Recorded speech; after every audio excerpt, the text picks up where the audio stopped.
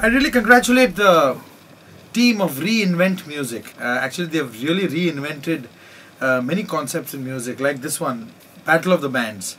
I think it's the first ever inter-school competition where there's a battle amongst bands and uh, you know these bands are formed uh, in schools and they they participate in a competition uh, where their talent is sourced. This is a wonderful uh, you know thing to do because i think the interest for music and the and the intention to be in music can be captured at a very young age especially when you're in schools. Uh, it's going to be wonderful i think and people are going to have lots of fun. Not only the kids who are participating in it but also the audience.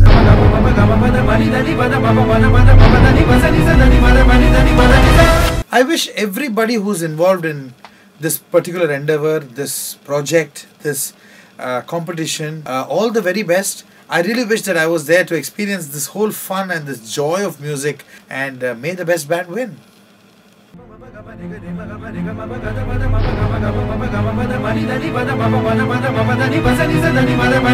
Thank you.